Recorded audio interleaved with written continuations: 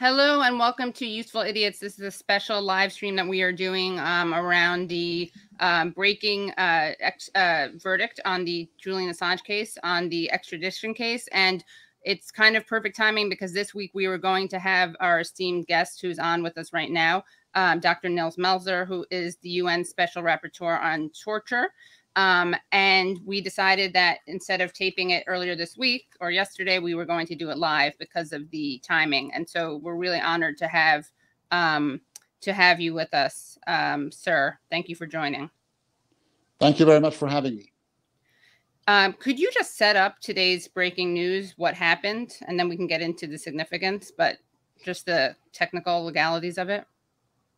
Yes, and, and I mean, really, a few terms just uh, uh since 2019, so roughly two and a half years, uh, uh, Julian Assange ha- has been in detention in a British British high uh, security prison after having been expelled from the Ecuadorian embassy, where he had spent another seven years before. And on that day, when he was arrested, the U.S. Uh, made an extradition request. that was amended several times, but basically covers 18 charges uh, 17 of which are espionage charges, and one is a, a so called hacking charge. So, what's going on in the last two years is an extradition proceeding by the US asking for Assange's extradition from the UK.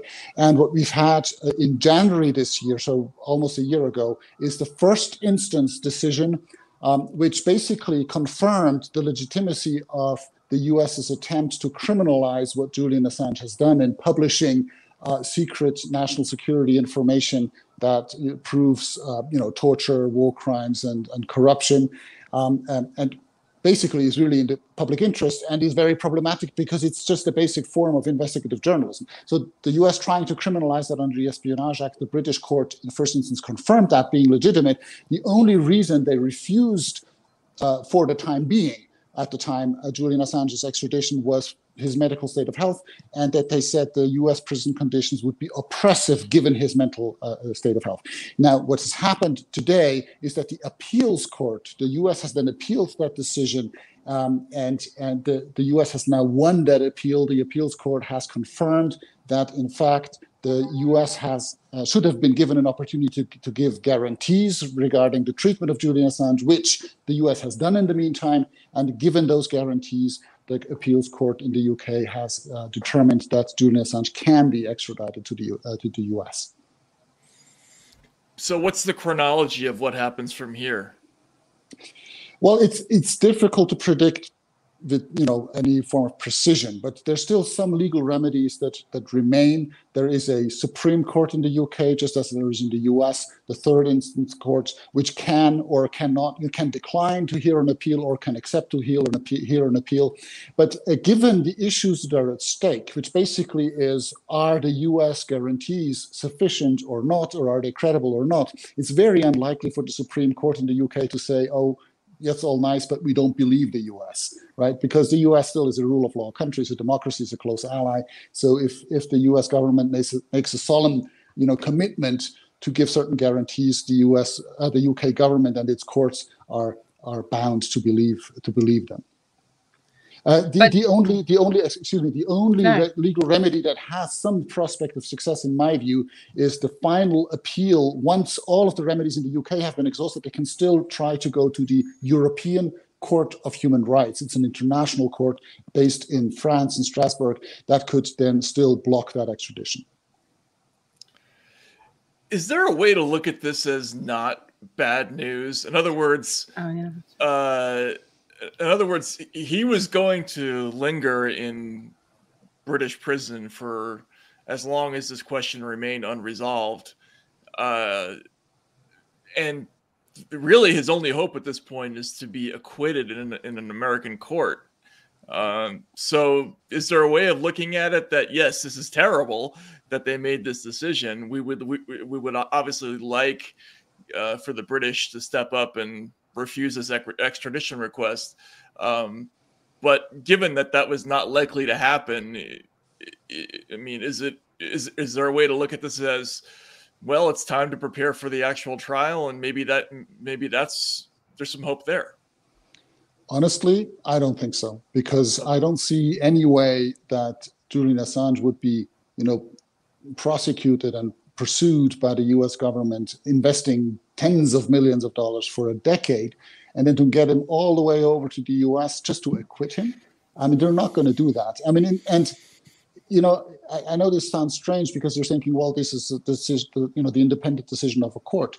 But everything I've seen investigating this case, you know, for over the past decade, in in no court of law has have the uh, the procedural rights and the human rights, the basic constitutional rights of due process of Julian Assange ever been respected. It's been systematically violated at every stage of every proceeding in every jurisdiction, because all those governments they're colluding. They're, they have the same interests, uh, which is to to set an example, uh, threatening other journalists, you know, such as yourselves. You know, if you ever get a USB stick, if I gave you a USB, I don't have one, just to make that clear. if I had a USB stick with collateral murder video number two, and the next 250,000 diplomatic cables proving war crimes and, and torture and corruption, would you publish that? I seriously doubt it. If you will look at his at his example, whether he's extradited or not, already now, you would say, well, you know, you'd ask yourself some serious questions. And that's precisely what they want. Instill that sense of insecurity that you can't rely on press freedom when you have secret information that proves serious government misconduct and is in the, in the clear in the publicly uh, the public interest to, to publish that you don't feel free and protected by your constitution and by human rights to actually publish that. Isn't it actually you, worse than that? Uh, I'm sorry to get Katie. Like, no, no, keep going. It, it's not even a question of whether or not to publish. Like, you can't even have that conversation according to the to the the the charges that, that have been filed against him. Uh, isn't that right? I mean, in other words, it's no, exactly. acquiring the information at all, whether or not you publish. Yeah yeah, because because the, the broader public is not even aware what's what the charges are. When you look at the charges, there is no thing of you know having yeah. harmed anybody or anybody having been seriously endangered because the U.S. government has not been able to prove a single case of everybody anyone having been endangered. It only says you know he's charged of having obtained and published secret national security information, but he's not American. He's never worked in the U.S he didn't uh, work for the US. He had no uh, obligation of non-disclosure. He was just a ordinary international journalist, and he received that information from whistleblowers. And that's a different story because they had a, you know a non-disclosure agreement, and, and there are other issues there that we could discuss. But he is really not even a whistleblower. He's just a publisher. And so you're absolutely right. right. So if he asks questions, and he's basically accused of having when he asked, Do you have more information or something like this, that this would be instigation and conspiracy in espionage, which basically means you can be an investigative journalist as long as you're not asking any questions. Now, try to be a journalist any amount of time without asking questions. Right, right. And uh, go ahead, Katie. I'm sorry. No, no, no. If you want to wrap, I have something slightly different. So if you want to. No, it's just the. So in, in other words, the the conspiracy to even ask about nat- national defense information. Incidentally, what is national defense information? Have they defined it? Is it necessarily classified information? Uh, well, well, is it just, whatever they call it? Whatever they call it, whatever they choose, whatever they don't want the public to know, they can classify. And we know that there is a notorious tendency of overclassification right? Uh, and so clearly, when you leave it up to a government to decide on its own, you know, what should be classified or not, well, the first thing they'll classify is anything that could be compromising their own interests, right? And even personal, private interests, and you know, be like being prosecuted for a war crime, you know, or instigating in a war of aggression, or you know, instructing people to to commit torture all of these types of things you wouldn't want the public to know if you're the perpetrator. And if the perpetrator is given the power to classify that it's basically like giving an accused criminal in court the power to classify the evidence against him. And you know that's not the purpose of secrecy and confidentiality. There is a there is a legitimate space for diplomatic you know negotiations in confidence and so on but does not mean that you can withdraw these things from the rule of law you know, anybody, that's what the rule of law means, that even, you know, the president of the US or anybody else uh, you know, in a powerful position is subject to the law. And so if they can just classify the evidence, it basically means that they gain impunity. And where that leads, you know, is obvious. Right. Can you talk a bit about your own? I mean, so you are the author. Not only are you the special rapporteur on torture for the UN, and you have a very significant biography, also a Swiss professor, author, and advocate in international law. You served in various war contexts as legal advisor to the International Committee for the Red Cross and as a security policy advisor to the Swiss government. And you also are the author of this book, um, The Trial of Julian Assange. And oh, yeah, we should do it at the same time. Matt, do it again. Hold on. There we go. I have it also. yeah. So um, you're you describe in this in this book how you and I think this is a really important thing to reach people who aren't already necessarily here, but you yourself was someone who was you were turned off by by Julian Assange. You talk about overcoming your own prejudice. Can you right. talk about that process? How you went from someone who actually ignored the pleas of his legal team to someone who turned into uh, a champion uh, for his legal rights and human rights? Yeah, I yeah, thanks for the question because that's really one of the most troubling aspects of the story for, for me, uh, you know, as a human rights expert. So I, I have this mandate, which basically is my job is to, you know, or my, my mandate from the United Nations is to to uh, to oversee the implementation, to respect for the, the, the, prohibition of torture and ill treatment in all UN member states, and to to also investigate individual cases. Um, and so I receive, you know, uh, requests for interventions by by torture victims and their relatives and lawyers every day, about 10 to 15 requests. And so one of those requests I received in December 2018. Assange at that point was still in the embassy in London, uh, I uh, was by his lawyers, and they they they they basically complained that his living conditions in the Ecuadorian embassy had turned inhumane, and they wanted me to intervene on his behalf. And I just I just remember this visually. I was sitting on my computer and writing a report for the UN on corruption, political corruption, strikingly, and and the prohibition of torture. And I see this little message flagging coming in my screen saying, you know, new message coming in uh, and, and the title was Julian Assange's lawyers are asking for your protection. And I immediately had this visceral reaction of like, no, not this one. I kind of swiped it off my screen and looked out of my eyes, you know, out of my mind, because I had this this image of, oh, this is this hacker, rapist, you know, traitor, hiding somewhere in an embassy because he doesn't want to stand justice and so on. And he's just going to manipulate me. So I just kind of had this emotional reaction. Now it's normal for me that I have to, you know, select quickly. I can only pursue one case per day, and I receive, you know, 10 to 15 requests. But in his case, it was particularly emotional. I had these negative emotions, and then uh, his lawyers came back about three months later, uh, shortly before he was expelled, saying that there were these rumors he would be expelled, uh, in, in, you know, uh, imminently and sent to the U.S., where you know inhumane uh, uh, treatment and uh, would would be awaiting him. And so they also sent me some pieces of evidence, some medical opinions by independent doctors. And and when I read those pieces, I realized that well, this guy already applied about three months ago, and I asked myself why why didn't I actually deal with this case before? And I started becoming conscious of my prejudice. And I asked myself, well, wh- where do I have these images from? These, you know, these the certainty that this is a bad guy, this is a traitor, this is a rapist, and so on. And I realized that I I, I had been had absorbed this basically from public reporting over a decade, almost passively, unconsciously. And that's that really scared me because I thought, well, my mandate is to, to see through these types of smokescreen. And if I, as a professional with you know 25 years of experience in some of the worst war areas and so on, if I can't see through the smokescreen, um, well, so what the average person who never even dealt with human rights, you know, what, what are they going to do? And, and so I, I felt like I, I, owed it to my professional and personal integrity to at least look into this case. And so I decided to actually go and visit him in London. And I first wanted to visit him in the embassy. When I announced it, I think they got cold feet at the UK government and the Ecuadorians. So within three days, they expelled him in a very hasty, uh, uh, uh you know, uh, uh, approach um, to make sure that kind of to establish the facts on the ground.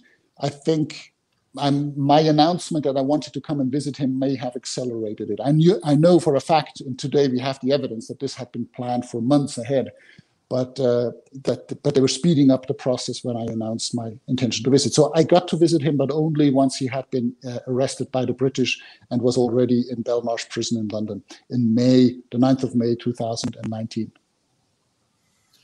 Uh, how, how damaging was the DNC leak to uh, Assange's ability to rally sort of establishment liberals to his cause. You talk about this a little bit in your book.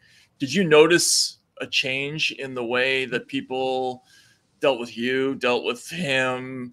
Uh, you know. Yeah, well, I, I mean, I got involved only after this, but when I mm-hmm. investigated the case, I saw that that the way he was perceived in the public changed dramatically after the DNC leaks, but especially uh, the way that the DNC leak story had been had been told by the Democratic Party, right?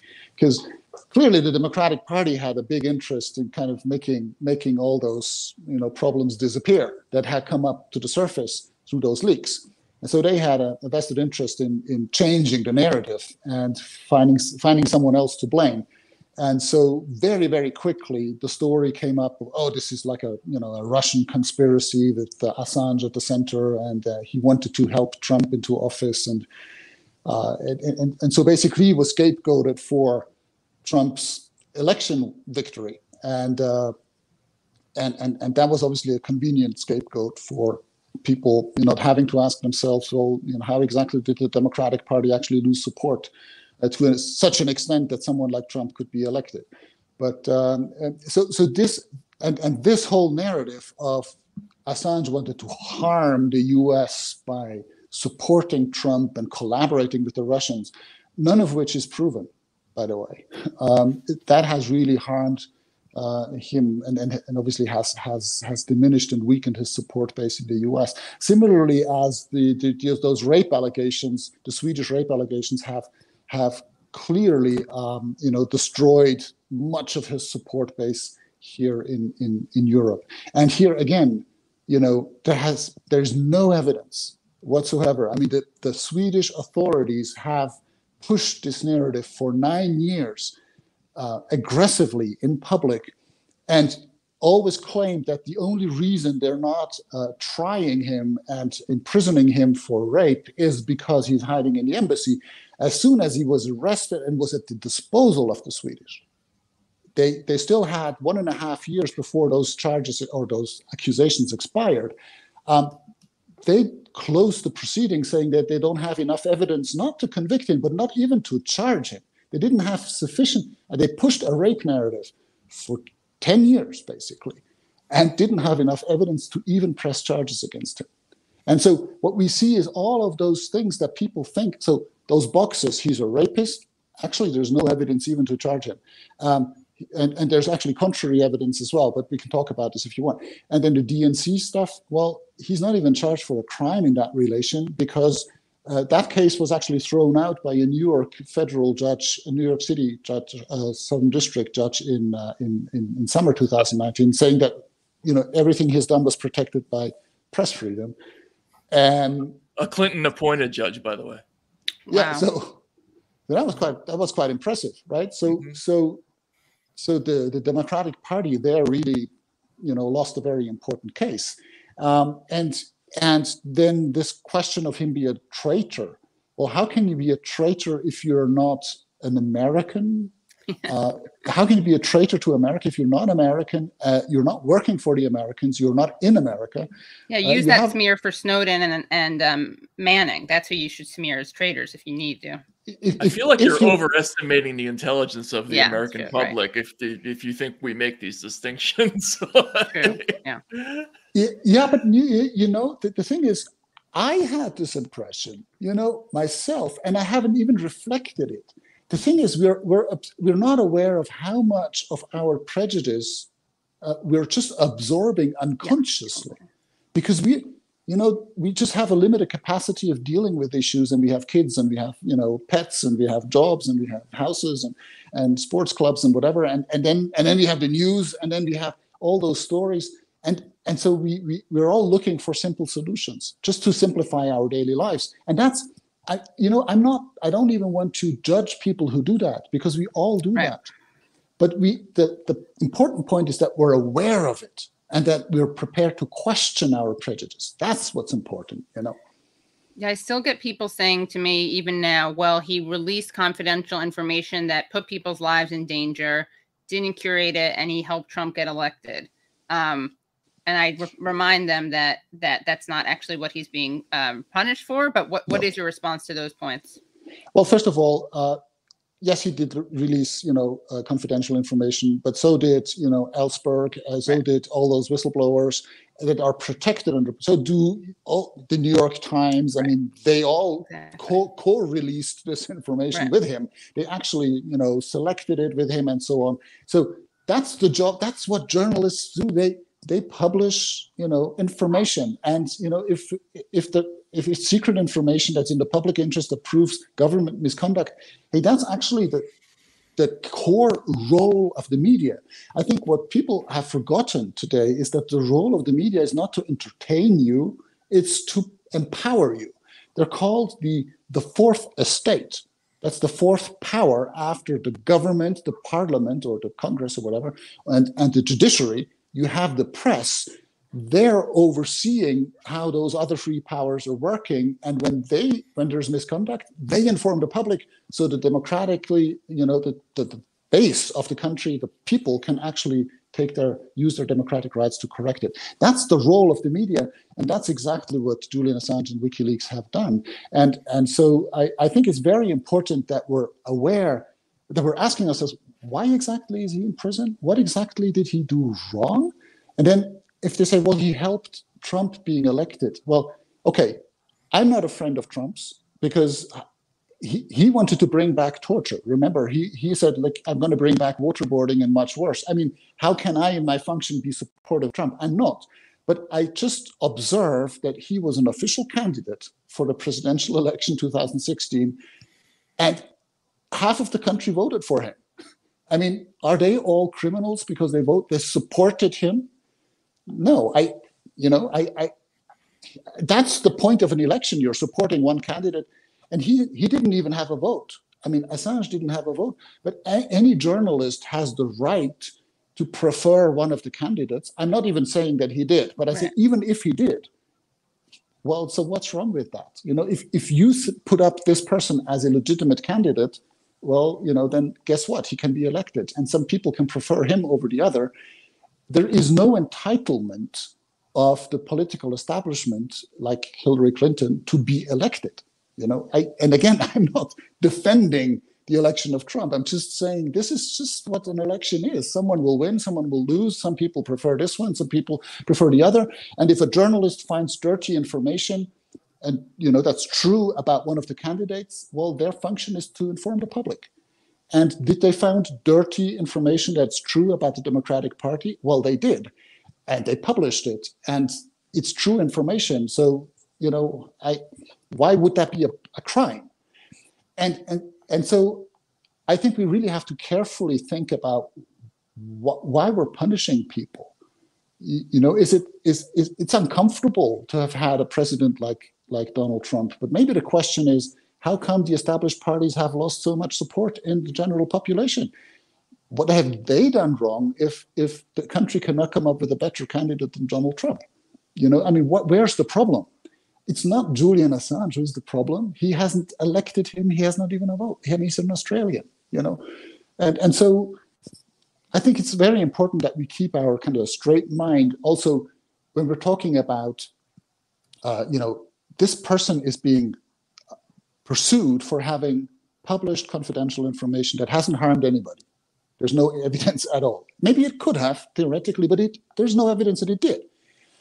But the information he published is in, I mean, it's uncontroversial evidence, hard evidence that serious crime have been committed by the governments, torture, war crimes, I mean, horrible stuff by the thousands.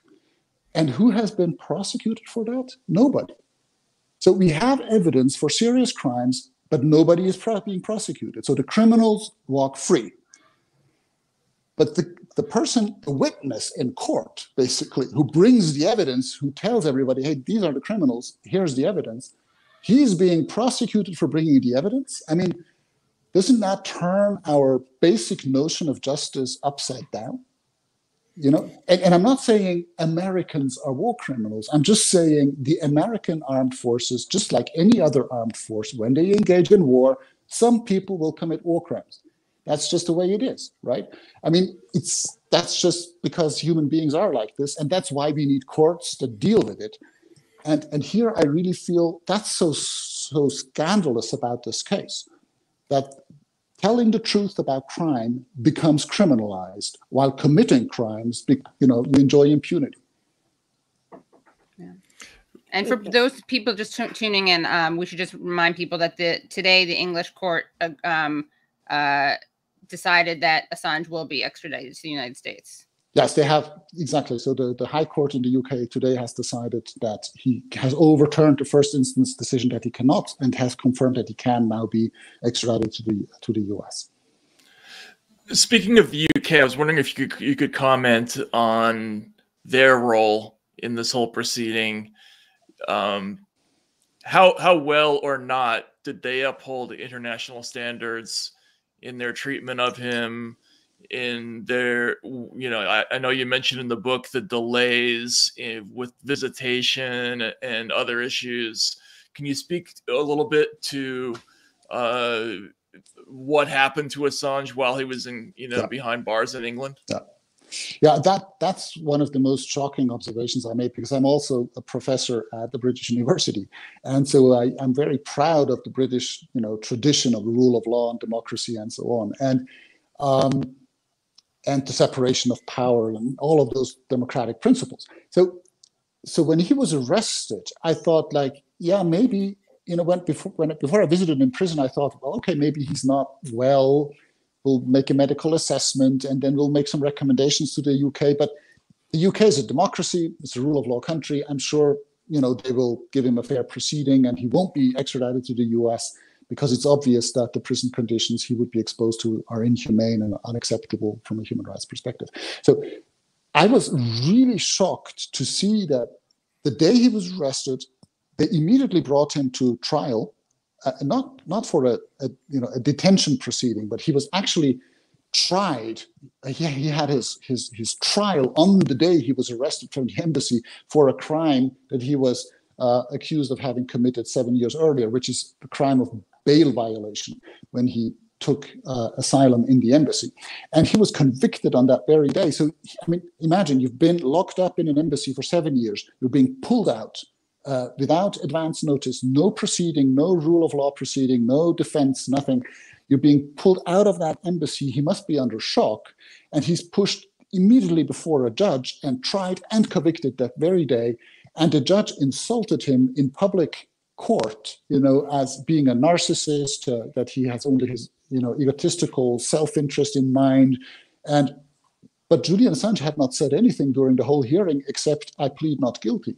So on what basis is he is the judge openly insulting the defendant? I mean, it it, it displayed a level of bias that you know you, you can't do that as a judge. Then the next thing is, as soon as the, the US requested extradition, they appointed a judge to, to actually preside over that proceeding. Um, that and that her husband had been exposed by WikiLeaks in 30, 30, more than 30 cases. So, I mean, there's a clear conflict of interest. Uh, you can't do that, you know. And after about, about a couple of months, then she was replaced by by a different judge. But that goes Both of them have really weird last names. Neither here nor there, but it's like in order to see to oversee this case, you have to have a very hard to pronounce last name. anyway. yes, absolutely. Yeah. So and and then but then also what happened is that he was in extradition detention. This is not. I mean, he's not serving a sentence. He is actually just being secured. So in case the U.S. wins his extradition case after a couple of years, he's not, you know, taking asylum somewhere or escaping otherwise. But you don't put someone who's non-violent, who's not serving a sentence, in the you know the toughest high security prison of the country in Belmarsh, which is called the, the Guantanamo of Britain.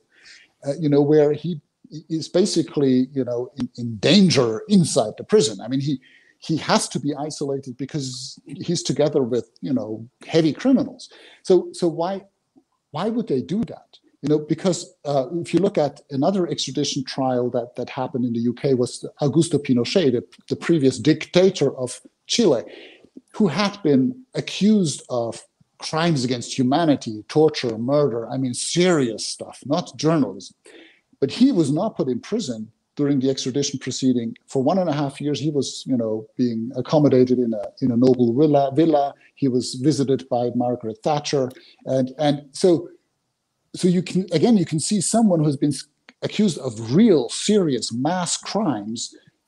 He's being treated like a gentleman, and Julian Assange, who is non-violent and who has only committed committed, I mean, conducted journalism, he's being isolated to an extent that it was impossible for him to have sufficient contact with his lawyers to prepare his defense.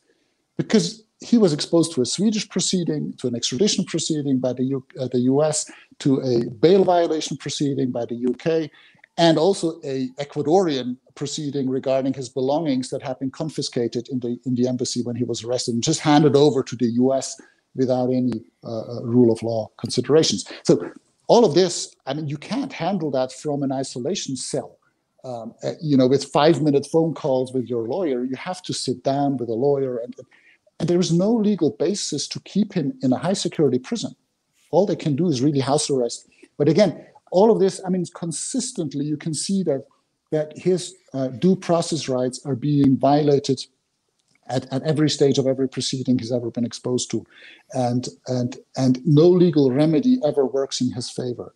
And, you know, mistakes can happen even in the, the most perfect democracy and rule of law country. Courts make mistakes. We're all human, right? But that's why we have superior instances that can then correct that. That never happens in his case.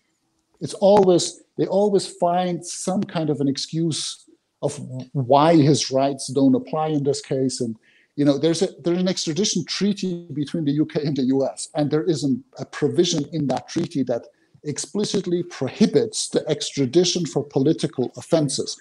Now, what's the quintessential political offense in law school? It's espionage. That's the example. As always, the political offense. You can never extradite someone for espionage. And the UK and the US agreed in their treaty that that's prohibited.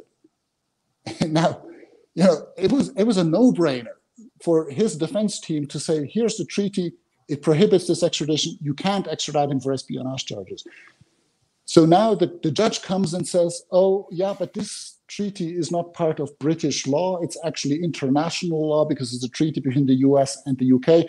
And I, as a British judge, can only apply English law. And, and it's some kind of a weird, nonsensical argument. You know, it's it's what I call ju- jur- juridical acrobacy to basically come to an absurd conclusion that a treaty concluded between the US and the UK government doesn't apply between the US and the UK government in this case.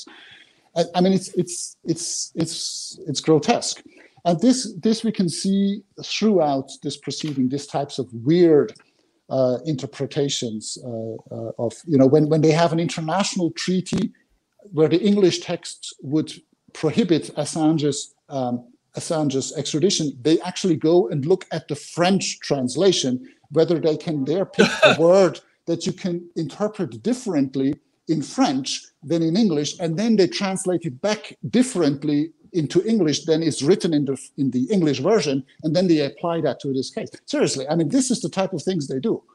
And because you have it, to admire the creativity. Yeah, exactly. Right. Yeah. But it's but it's it's grotesque. It's grotesque, and and and and they do this with a straight face.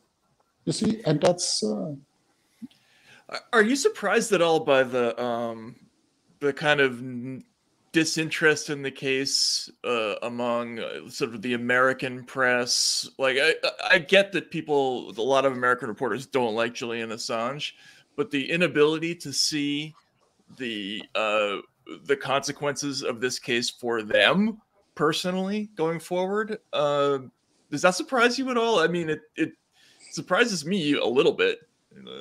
Well, it did. It did surprise me in the beginning. By now, you know, I've, I'm used to it, but I, I thought like, look, this, hey guys, this is about your rights. I mean, it's about, it's really about you. It's not even about us. I mean, yes, it's a, about Assange for Assange and his family, but that's a, a few people in the world. For all the rest of us, it's about you and your rights and your kids. You know, I mean, seriously, if this becomes, if telling the truth becomes a crime, I mean, what kind of world are we living in? You know, I mean, what are we going to tell our children? You know, don't tell the truth because it's it's a crime. You know, if, if you see something bad happening, you know, just lie about it and pretend everything's okay because otherwise you're the bad guy. I mean, what kind of world are we going to live in? It's really weird. Um, I I suspect though also that if you if you look at the truth of the Assange case, I mean, it's just a tip of the iceberg. You know, it's like a keyhole to look into a parallel universe where we see into the reality of how international relations are really being conducted. And and once you start realizing this, things become really complicated because it's not just, oh, this is the bad guy, this is the hacker, this is the traitor, this is the rapist. So we have the scapegoat. He he helped Trump become the president, so we don't have to ask uncomfortable questions about ourselves.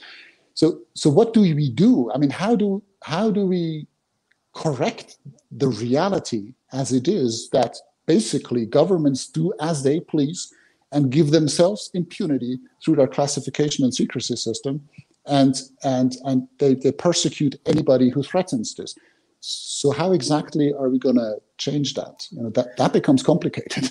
Also how are people who claim to hate trump and hate assange because of how much uh, he allegedly helped trump i don't understand how they're not upset that joe biden is now siding with donald trump over obama. Because obama stopped he knew that, that there was the New York Times problem, right? That if he went after Julian Assange, he'd ultimately have to say, well, if it's so bad to publish that, then it was bad for the New York Times too, right? So he kind of puts the brakes on. Then we get Trump in, and he and Pompeo go and go full full court press, yeah. full court press, right?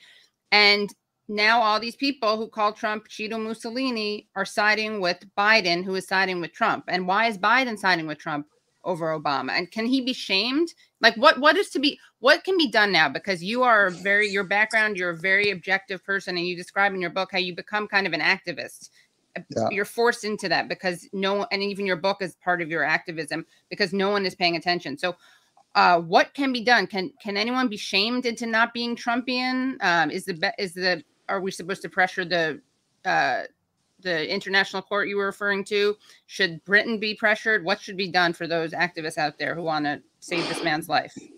Well, first of all, I think yeah, I'm, I'm you know I'm not even an Assange activist. I'm just an activist for justice and the rule of law. I mean, it's very basic stuff. Yeah, and and press freedom. I mean, and and so, um, yeah. Well, I think the truth is, you know, Obama is often idealized, you know, but in fact, I mean, he he was the one who was relentless in persecuting whistleblowers, yeah. and he is the one who decided not to prosecute anybody for torture and all those war crimes and stuff. I mean, he he tortured I mean, some folks. Yeah, we tortured some folks, right? I yeah. mean, seriously, and, and and you know, yeah. even in the war crimes tribunals that the Americans helped establish for Yugoslavia and Rwanda and everything, and, and Nuremberg and Tokyo, you know, the US pushed for a rule that that said that a commander or another civilian superior or a military commander who who prevents the prosecution of his subordinates for war crimes becomes a war criminal himself. That's a rule that was pushed by the US at, in all those war crimes tribunals. Well, that's exactly what, what Obama has done. So I think we, we have to be quite realistic that Obama decided not to prosecute Assange at the time because he didn't know how, but also he didn't he didn't pardon him. right. Know, no, never, of course, he, yeah. Exactly. And, and he, also, so he, he, also used the Espionage Act like 13 yeah, and times. he was a, bi- to, a big droning fan. And, and so I'm, I'm more saying this because I think it, I, I, am not a huge Obama fan at all, but to yeah. me, it's just a shocking hypocrisy and shows how thin the rhetoric is. Like you, this is of your course. guy, people. This is the constitutional law professor who you love because he's an intellectual. He's not yeah. Cheeto Mussolini. And yet yeah. this route is the Cheeto Mussolini route trying to wake up the blue blue check libs out there. Absolutely. Well, well, I think you know they're just as reliant. Uh, you know, any any administration, I guess since Kennedy or so, has been so much reliant on their on, on the CIA and, and the intelligence community and their interests. I think Biden, you know, he, he plays that same game. I mean, he, I don't think he can afford, you know, politically to to let Assange off the hook, you know, because well, there's Hillary Clinton who probably won't forgive him, um, and I, I, you're about a better place to analyze, you know, the, the American environment. But I, I think the only fair solution for Assange and for all of us, frankly, is for the Biden administration to drop this case and to admit that publishing secret information that proves serious crime is in the public interest of the American people and the world public, because we don't want people who have committed serious crimes walking around freely. You know, nobody, why should rapists and torturers and murderers walk around freely? You know, I mean, we, we don't want these types of things.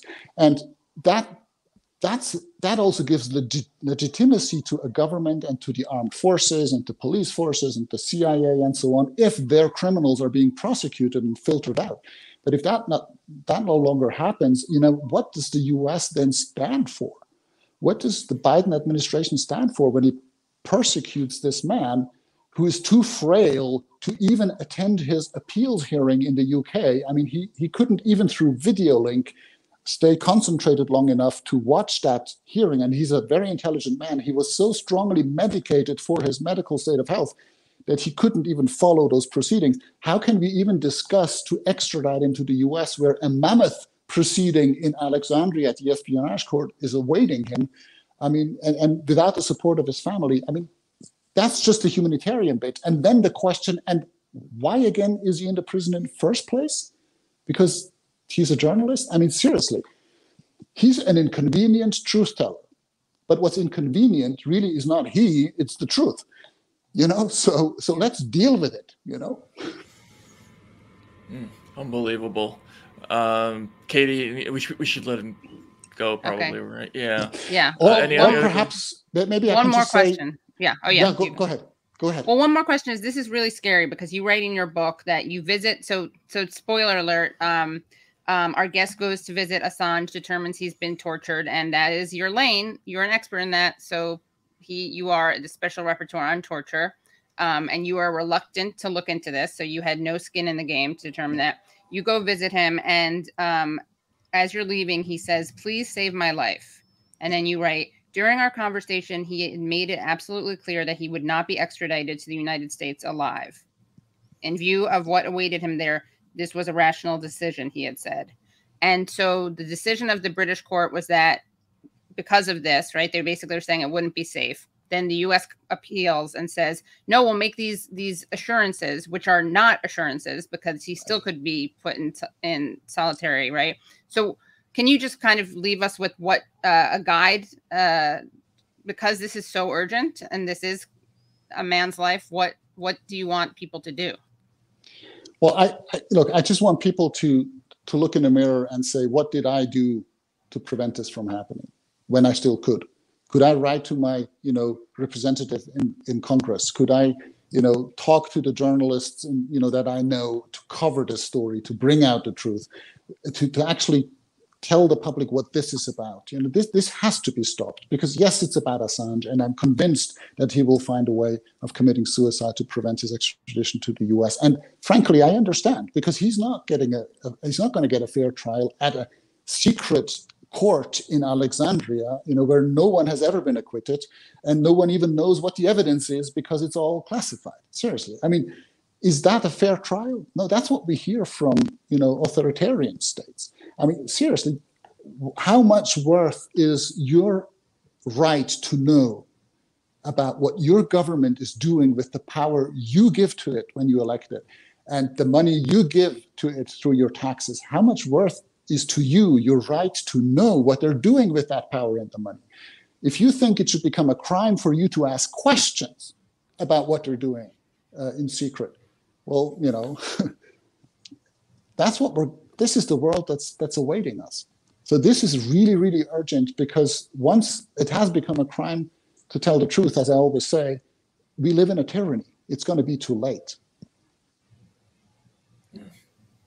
And this is why I've written this uh, book because I've, I've, you know, I've just like a whistleblower, I've used all the official channels of my mandate, diplomatic channels, intervened with the foreign ministers of the involved countries, and informed the General Assembly of the UN in New York and the Human Rights Council in Geneva. It didn't work. I decided I have to write a book because I don't want my children to live in a world where it has become a crime to say to tell the truth. And that's just the last resort I had to inform the public. And I really encourage people to read this and to draw their own consequences. Okay. Right. Yeah. Well, yeah, every, so every, absolutely everybody should read. Uh, yeah. Should read the trial of Julian Assange, and um, you know, if there's, a, I, I can't even think of what to do. Write your congressman, but it, but this this is a this is a really dark day. Um, Matt, what you're doing now I, is exactly what you should be doing because that's you, you're now interviewing me and you're spreading the truth about this case. That's exactly what you should be doing. Well, thank you very much. Yeah. no, yeah well, thank, thank you, you so thank much. you for coming on. We'll we'll do everything we can, and uh, good yeah. good luck to you. Thanks, yes, and thanks, thank Katie. So thanks, much. Matt. All the best so to much. you. Yeah, you take care. care. Thanks. Bye. Bye. Oh my god, it is such a uh yeah, it's such a shit show. It's so terrible. Uh, uh you know, I feel so I, bad I, for his family. Well, I mean, look, the, I'm sort of beyond the worrying Surprise. about Julian Assange oh. stage, like, and and mm, I'm farther down the road of free uh, press well, no, it's just the the fact that people don't have uh, they have zero reaction to this clearly third world maneuver happening like completely out in the open and um, without really any kind of formal opposition by any political figures in the United States. Um, it's it's shocking, you know. I mean, we, you know, you can go and watch the the you know the, the hit uh, dramatization of the trial of the Chicago Seven, and everyone everyone gapes at the scene where you know Bobby Seale has his mouth shackled, taped, yeah. yeah, and they're shackled in court and everything like that. Oh my God, can you believe they did that back then? Like, this is this is a thousand times worse than that. Um, the you know the as Nils mentioned, there's there's no real underlying crime uh, that makes any sense at all. Although, unfortunately, according to the way this law is written, he's he's guilty because everyone's guilty according to yeah. this law. Um, so it's essentially this is going to be a demonstration of the United of the American government's ability to put anybody they want in jail forever uh, for saying the wrong thing. And like, if you're not freaked out by that, uh, you know, I, I don't know what to tell you. Like, you know, uh, you don't have to care about Julian Assange, right? To to to recognize um, how completely fucked up that is, and and and that we've we've crossed a Rubicon uh, with this moment. Yes, in fact, and yeah, and it's funny because Nils himself talks about crossing the Rubicon and uh, I think the Rubicon is is figuring out what is it? It's actually stating publicly um, that what is it? He wrote in his letter uh, in 20 years of work with victims of war, uh, violence, and political persecution. I've never seen a group of democratic states ganging up to deliberately isolate, demonize, and abuse abuse a single individual for such a long time, and with so with so little regard for human dignity and the rule of law. Um, he describes that statement as crossing a Rubicon. And he says that until that moment, uh, I had never been a man of the limelight. Exposing myself in this way made me feel very uncomfortable and triggered a full blown personal crisis. In doing so, I both outwardly and inwardly broke with my residual trust in the system, with my trust in Western democracies as states governed by the rule of law, which I could have told him earlier to break with that trust. Should have come to me. Um, yeah.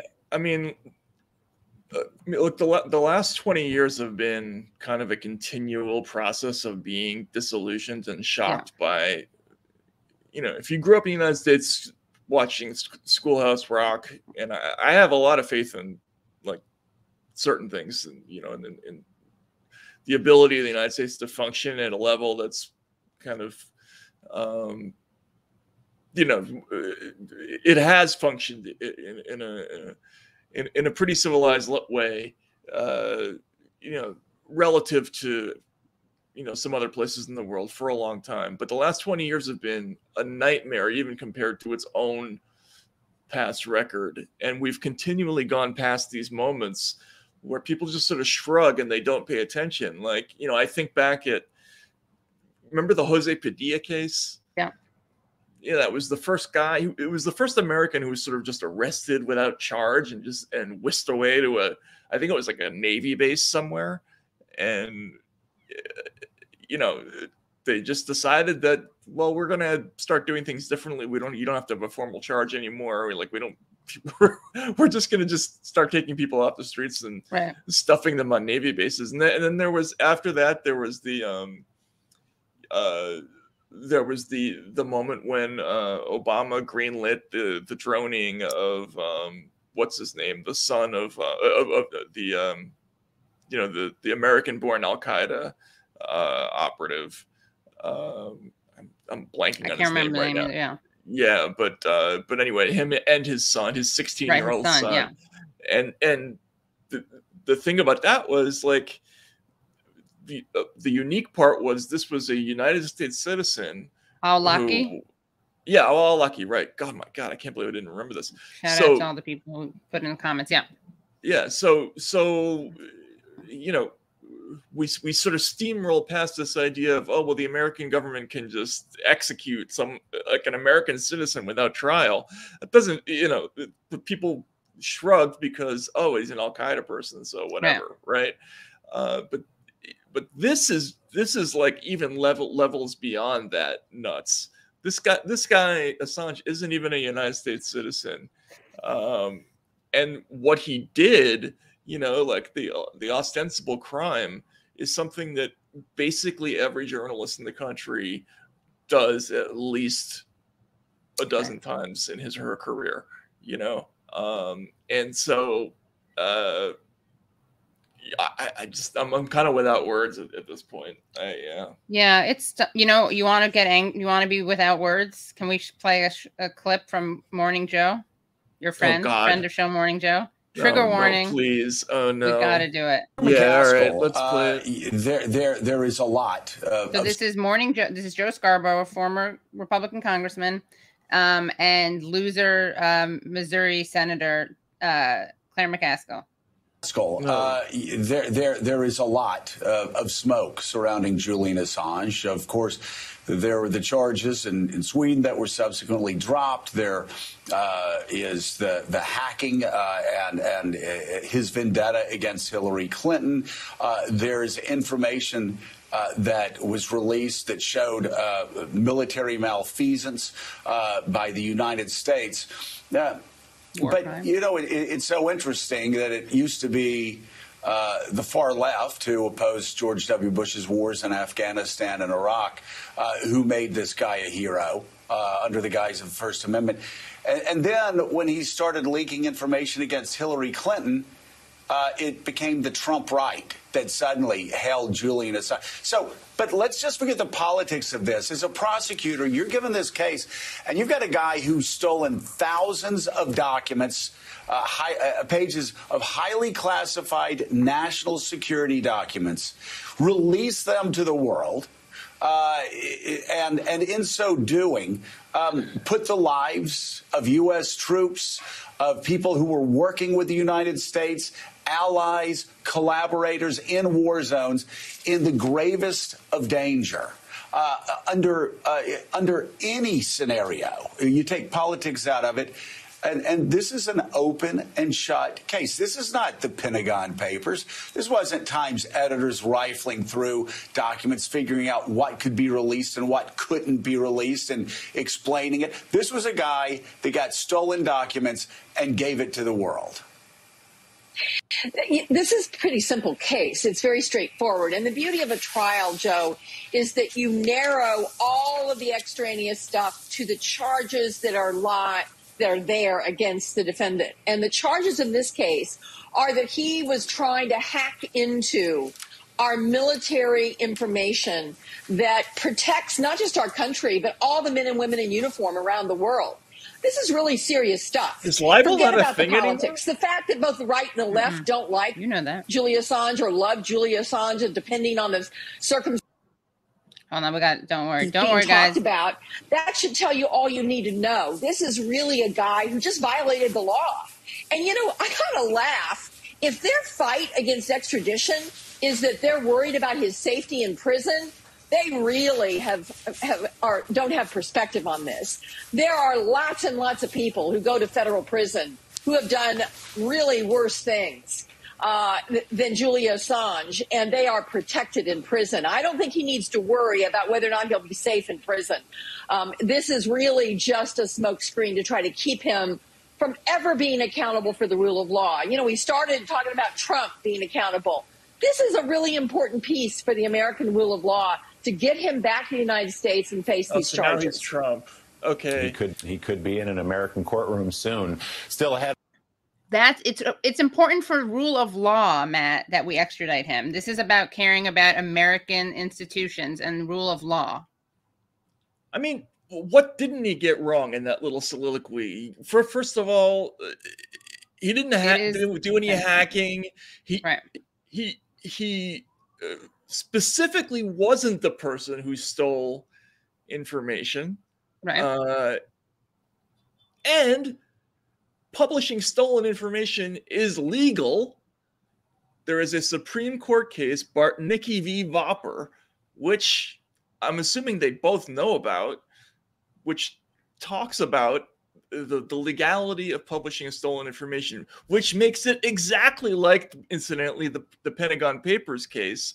Uh, I mean, the, the the the other Supreme Court case came after Pentagon Papers, but it relates to the same issue.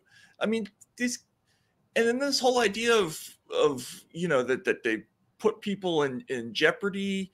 Uh, we're talking about 2012 now, when they were working with every major news organization in the world, specifically not doing that. By the way, like that was the whole point of the of of that version of WikiLeaks, right? Um, they got every they, they got every element of that story wrong, uh, and it's just, they just don't care. including the why he's in harm element.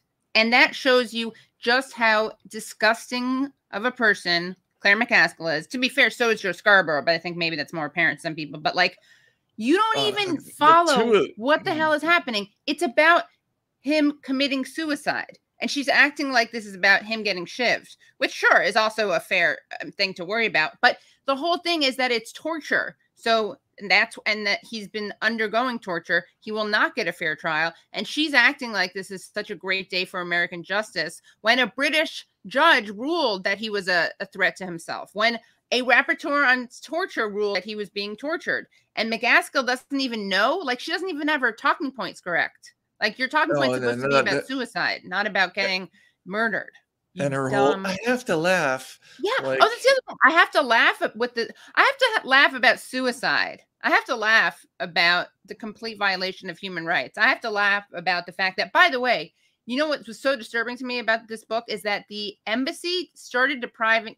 This seems maybe not like like not a big deal, but the embassy took away his shaving kit, which I think is so significant because basically they wanted him when he was going to be dragged out of the embassy. They wanted him to look like a madman. And so he did have that big beard. And I know that maybe shouldn't matter, but optics matter. And I remember, I mean, I was viscerally just, I was disgusted by it, but he did look like a kind of a, a madman. And that was all intentional. Like they want this whole thing has been such a great ick factor, as you refer to it, such a great hit job and smear job of this guy. And it is so disgusting. And those two people are disgusting. They, they should both be packed in a rocket and shot into the sun. I'm glad you said that because I didn't want to say anything. But that's too. I feel like that's too comfortable. That's They like a be. inst- They should instant be. They should be doused in chum and fed to bears. I mean, That's I uh, think a better direct. Now we're going in the better direction. Yeah. Komodo dragons, maybe. Komodo First, dragons. they need to like be quizzed on all the things they got wrong. They need to have all the things that they got wrong explained to them so they know. as as the Justice Department source that I that I I called once to ask why the why the government hadn't interviewed Assange about the RussiaGate right. case. Uh, why ask him questions? He'll just lie. So um, that's what he said I, when you asked? yeah yeah. So wow. so uh, so I, I think the same thing applies to these two. Uh, no, I'm sorry. I don't want to be like that. Look, as a as a parent, I don't want to hate like hating is. I don't have a. I only have Bodhi, so I I'll do I'll do all the hating that you feel is uh but is inappropriate. Man, God, those people also, are just. Uh, Daniel Ellsberg believes in believes that Julian Assange should be free. So you guys pretend to like the Pentagon Papers and Ellsberg, although we all know you'd be saying the same shit. If you were oh, back they, in time, you'd be saying the same exact stuff about Ellsberg and the Pentagon Papers. You'd probably support Nixon breaking into his therapist's office. You'd probably love that. What I mean, so uh, that that whole aspect of it, like, look, this is this is the era that put out the movie The Post. You know, yeah. so sort of the the worshipful uh, biopic about the heroic journalists who who who stood up for the Constitution right. during the Pentagon Papers episode, and they're this they're the same ones who were like, you know. Uh, basically have a, a an unbroken lineup of uh, NSA and Langley apologists yeah. uh, on their op-ed page, and you know, and they're owned by Jeff Bezos, who's you know one of the biggest intelligence contractors in the country. They're they're just absolutely disgusting. Uh, these people and and the, the total lack of backbone among I, I just can't get over how how disgusted I am about the the journalism community because um yeah I I get the people who don't like him like I I I have some good friends who who really don't like him for a variety of reasons that have to do you know with the way he comported himself at WikiLeaks, the way he treated some his relationships with some of his employees there, the way he, uh, his relationship with uh, Chelsea Manning. Like, th- there's there's stuff, sure. right? If you don't like him, uh, but not death penalty stuff. But it's not even about him. Again, it this this is this is about like this is about the precedent of what they can do to anybody who publishes or even has a conversation. And it's just nobody cares because they, they, there's this reflexive thing now oh well that's not going to be me that it, it's going to happen to. And you know just just wait you right? Like you'll you'll start to see you know it, it's just like the surveillance thing like oh um you know when that right, started I don't have to worry, right? I don't have to I don't worry, have to worry about doing... that or why yeah. you only have to worry if you've done something wrong. Right. Now, do you know anybody who doesn't think that their their conversations are being right. cataloged by the NSA or that if they have the wrong person in their in their um you know, uh, contacts list that they're that they're not being, you know, occasionally listened to. Uh I mean, I think most people most people have the expectation that they're being surveilled on some level um now. And what whether it's just electronically or algorithmically or, or or whatever, right? And they didn't believe that before. They didn't care before. if you remember, there was a huge fight at one point um, because people didn't like the even the idea of the government looking up their their library records. Remember that? Mm-hmm. That was the that was the beginning of the Patriot Act debate. Right. I remember Bernie being going going to the hill about that you know, we can't let that happen, right? I mean, just imagine the stuff they do that's so many leagues worse than that now. Right. And, and, people just don't even think to protest about it because right. they've been beaten down so much. And this is just another one of those moments where it's just like, we're going to look back at this 10 years from now and be like, oh, yeah, man, maybe we should have said something back then. Like, yeah, gosh maybe we should have said something when we had our stuff looked through when we were like visited him in the embassy, right? As happened to journalists at the Washington Post. Oh, well, the Washington Post. I mean, please, God, those are the people. Uh, no, and I'm not going to nope. say it. No, I'm what? Those are the people. No. What? Those are the people who should be sent to bear to. no, the, the hungry bears. Well, yeah, I, something like that. Yes, yeah. Well, what were we going to say? Those are the people who. This is those are the people who uh, no, it's not a safe space. It's live. I, I, I can't I can't say this. So anyway, all right. Can you modify it maybe like a, a lighter version of it? Let Let's just say those are the people who should be who should be having suicidal thoughts. Oh, okay. Yeah. Yeah. Like, I don't know. I just can't anymore. Anyway, uh, all right. Well, uh, on that happy note, thanks for tuning into this special edition of Useful Idiots. We have to debrief. And, uh, congratulations on that. Uh, thanks to everybody who listened to the yes. uh, Nils Melzer uh, yes. episode. Free Assange. Uh, free, Assange, Assange. Read the book. Read the book. And, we'll be back on Monday, um, right? We'll, we'll be back for Monday morning and this week. That's right. Yes, we'll see yeah. you on Monday morning. Yeah. All right. Subscribe. Bye, everyone. And you're really Matt. You go. I'm going to tell the audience something really quickly. Okay. All right. So, guys, if you're watching this live, this is so exciting because you've got to uh, see uh, this whole thing. But if you're not watching this live, you're going to want to become Substack subscribers um, because there's going to be what are we going to give them, Wilson? What do they get if they're Substack subscribers? They're going to get what? An exclusive conversation where Matt details his Joe Rogan experience. Yes, right. And a little Katie Halper dad appearance. Right, which is possibly more important. Yeah, definitely more important. Yeah. Will he find his shoes? Tune That's in. true. We're gonna have to do an, an update next week. Yeah.